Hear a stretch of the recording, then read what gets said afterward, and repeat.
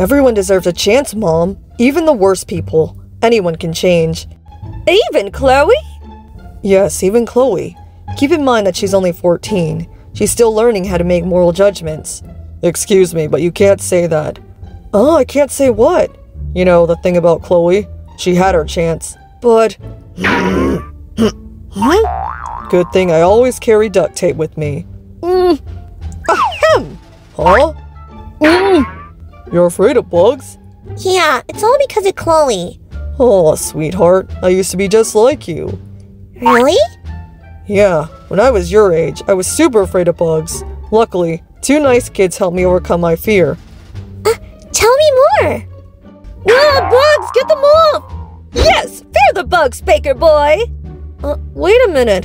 What's wrong? From up close, the bugs don't look all that scary. What? I imagined them to be much bigger.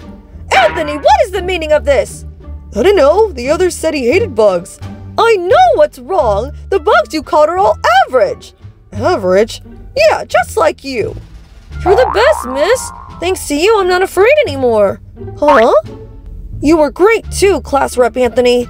Actually, my name is... Anthony! My queen, no! Wow, they sound like such nice people. I wonder what they're doing these days. Dear, would you like a croissant from the bakery? Anthony, you know how I feel about this place.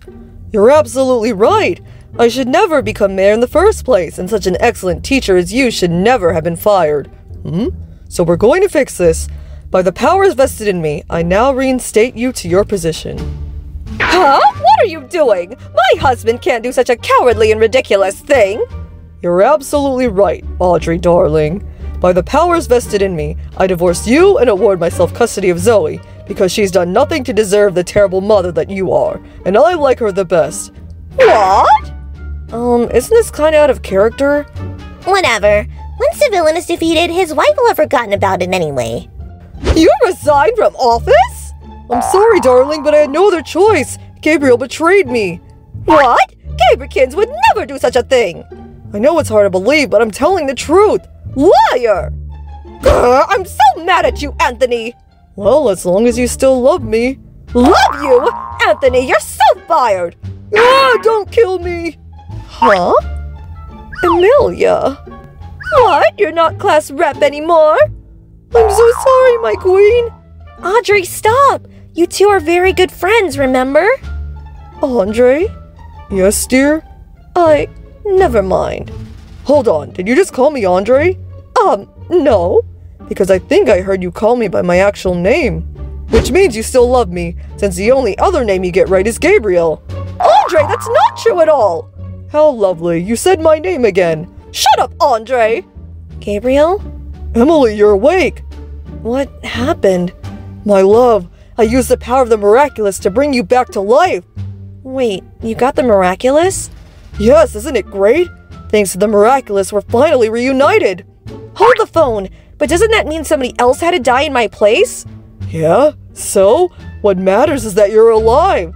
Gabriel, that's so cruel! You're responsible for somebody's death!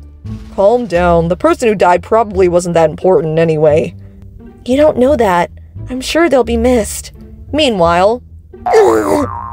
S sweetheart? Told you the writers were up to no good! Anthony! Anthony! Anthony! Andre, you know my name is Andre. Yeah, yeah. Why do you keep calling me Anthony then? Well, because. Do I really mean that little to you?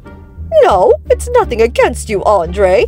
It's just the name is very special to me. Special? In what regard? Well, uh, uh. Dear, look, she's about to say her first words. Uh, Anthony! Mm. Who's Anthony? I have absolutely no idea. Have I ever offered a single bad idea to you, Andre? We've always helped each other out, haven't we? Alliance, add a romantic filter and send the video to Audrey Bourgeois. Hmm? We've always helped each other out, haven't we? We sure have, Gabriel-kun. Anthony-kun, daisuki da yo. Huh? Anthony, you cheater! Ah! Huh? Did you hear that? It sounded like Audrey yelling. I was yelling, you idiot! Yelling, you're fired! Not the flamethrower! Ah, get this crazy woman away from me! Ah!